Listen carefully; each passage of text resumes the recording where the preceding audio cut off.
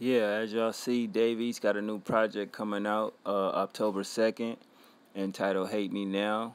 Uh, his last two projects released last year, you had Black Rose that dropped July 22nd and Straight Out of Harlem December 23rd of last year. And on this one, he got, you know, 20 tracks.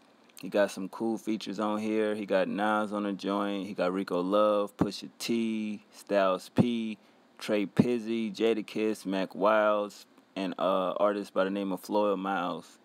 And I think this is incredible. I think he's one of the dopest artists coming out of Harlem. You know, um, Black Rose definitely, you know, showed me some things as far as, you know, Harlem rap because a lot of people felt like Harlem wasn't the same ever since Dipset. And then you had, you know, ASAP Rocky, but it definitely put the lyricism back in the game. So I think that's actually a good look.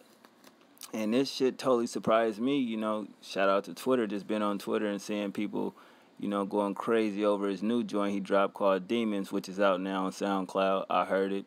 Dope record. It definitely got me amped to hear this project. You know, um, just seeing he got Nas on the joint really has me like, wow, that's kind of ill because we ain't heard Nas on something in a cool little minute. You know, you can expect the Rico Love track to, you know, be female orientated. You know that Pusha T track gonna be crazy.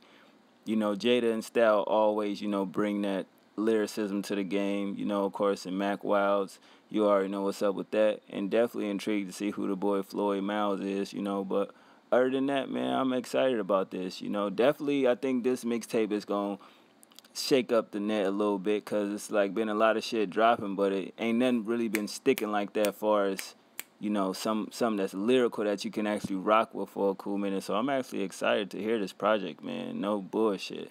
You know, so October second, you know, I think we got like a couple weeks left.